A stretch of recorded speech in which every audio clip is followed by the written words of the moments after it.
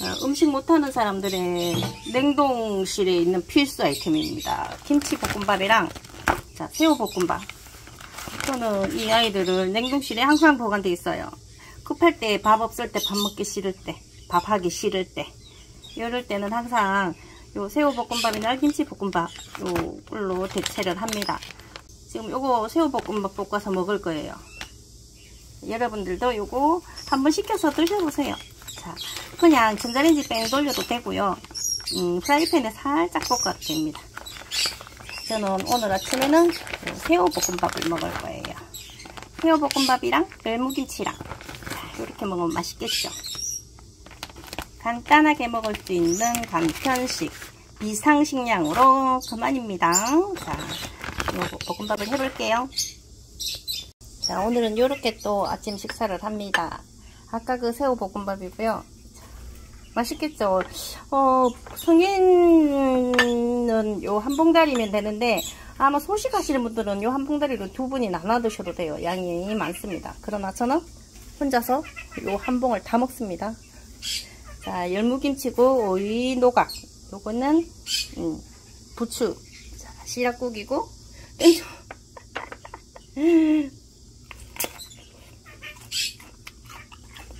얼굴상 밥 먹겠습니다. 훈제고기를 어, 김치랑 이렇게 그냥 보글보글 끓여서 먹으려고 해요. 맛있겠지요. 훈제오리인데 그냥 저는 김, 묵은지랑 이렇게 해갖고 먹는 게 맛있더라고요. 자. 묵은지랑 훈제오리랑 이렇게 해서 맛있게 먹으려고 해요. 배고파. 퇴근하고 오면 진짜 정신없을 정도로 배가 고파요. 저는 배고픈 걸 못 참아요. 촌에서 자라서 그런 건지 아니면 막내로 태어나서 그런 건지 배가 골았나 봐요. 언니들 저 배가 골면 배고픈 걸 못 참는다고 하잖아요. 아마도 제가 그런 듯해요. 위에 오빠만 넷이라 오빠들한테 엄마를 다 뺏겼나 봐. 근데 막내로 음, 딸이고 막내로 태어나서 아빠한테 사랑은 듬뿍 받았다고 하는데 엄마 사랑은 듬뿍 못 받았나봐. 맨날 배고파요. 배고프면 막 어지러워. 배고픈 걸 못 참아요. 그래서 그래서 빨리 최고 빨리 할 수 있는 요리가 뭔가 하고 있다가 음, 퇴근하자마자 지금 애들도 내팽개 쳐놓고 지금 제가 배고파서 제 배부터 채우고 애들 보려고 해요. 일단 애들 방문은 다 열어줬고요. 어, 쟤네들끼리 날아다니고 난리가 아니에요. 그러거나 말거나 일단 식사는 배고파서 어, 제 배부터 채우고 애들 볼랍니다.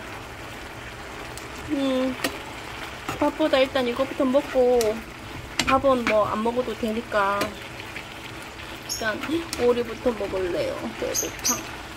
여러분들도 식사 맛있게 하세요. 자, 오리로스는 음, 항상 쿠팡에서 저는 음, 구입합니다. 집 앞에까지 딱 배송되고 새벽 배송되고 하니까 저는 어, 원래가 쿠팡 애용자예요. 원래부터. 자, 직장인들은 새벽 배송 완전 좋잖아요. 그래서 지금 지난번에 구입해둔 이제 훈제, 오리 훈제를 가지고 이렇게 저녁을 먹을 겁니다. 어차피 한 번 훈제 이게 되는 거라서 따뜻해지면 먹으면 돼요. 음, 맛있다. 맛있었어. 음, 요리할 것도 없이 그냥 이렇게 하고 먹으면 돼요. 조용해! 왜들아? 음, 맛있어.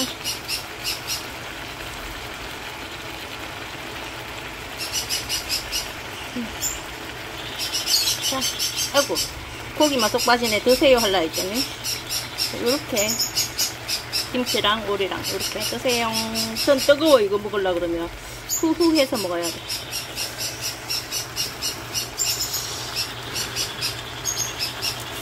음.